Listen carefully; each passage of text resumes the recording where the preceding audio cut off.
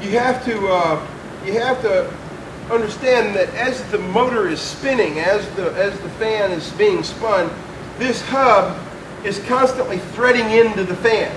So it's going to go, it's going to come off in the direction that the fan blades are pointed in the front.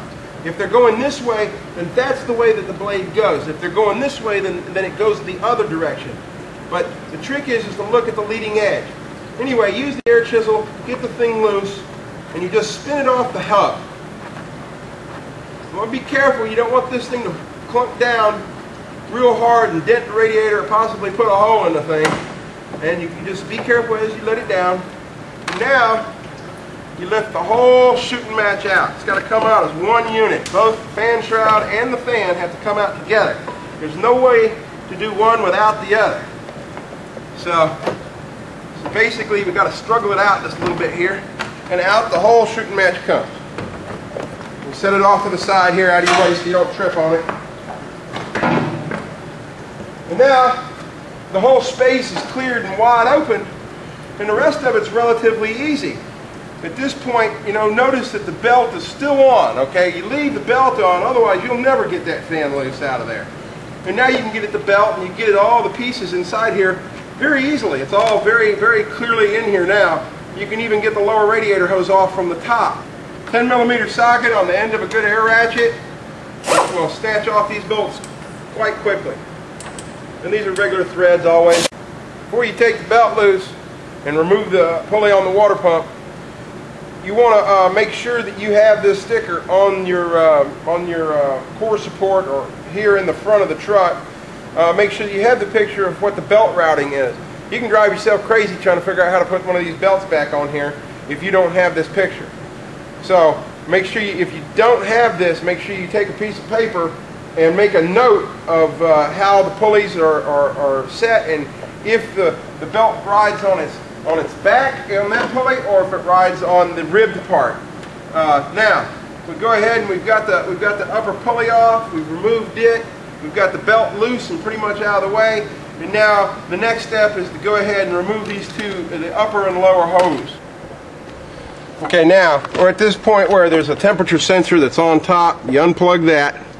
Now I like to unbolt all of the sensors and everything off of the water pump before I remove it because it's a, it's a real pain to try to put this thing in a vise and hold it still. It's, it's attached to the motor and uh, you want to go ahead and take these sensors loose.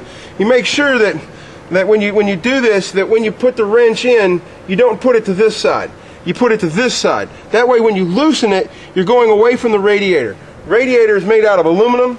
As you can see right down here, it's all aluminum and it's, it's very soft aluminum and it's very delicate and so if you're so if you're pulling on a wrench going this direction, you don't want to do it into the radiator. Now, if you're gonna if you want to go ahead and pull the water pump and pull the sensors and uh, pull this uh, this water neck here because we're going to need that for the other water pump.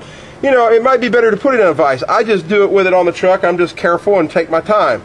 Uh, but either way you do it, uh, you've got to remove this and this, the the water neck and the sensor and the uh, and the thermostat housing off of this water pump so that you can install it on the new water pump. Okay, now go ahead and just break the sensor loose. Take your time.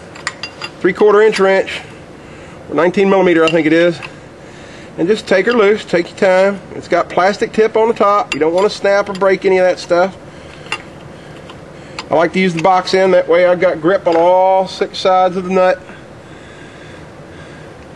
Get that one out of there and set it off to the side. Then we want to do the same with the big one. Again, we don't want to we don't want to go towards the radiator. Don't want to pull towards the radiator if you choose this method.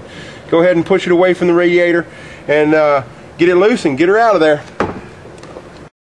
Okay, now that you got the sensors and the, and the upper water neck off there, now we got to go ahead and just take the bolts out. And this is again a spot where air tools are real nice to have. Uh, these are all 10 millimeter bolts and we just want to zip them off of there. Get all the bolts out.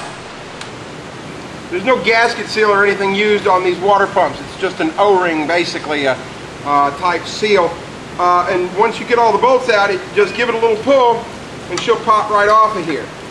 Be careful, there's sometimes uh, sensors or uh, wires attached to the edges of it.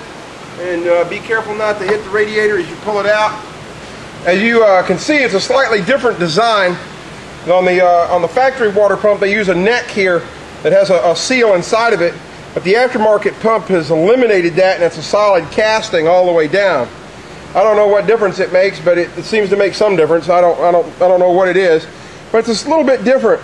The other thing that they include in the kit that's, that's different is that they include the three long bolts and uh, variety of plugs and also the uh, bolts that go to the, uh, to the pulley. They want to replace that. Lots of times when the, the bolts get stretched or the pulley's not tightened correctly, the pulley rattle around on here and it'll damage the pulley and then you're in trouble. You've got to make sure that, that those are replaced. So we use the complete kit. It's got the new the new uh, gasket and the new seal that goes on the uh, the water inlet here for the for the heater. What I do is I use a little bit of gasket sealer in key spots to hold the gasket in there long enough for me to install the water pump.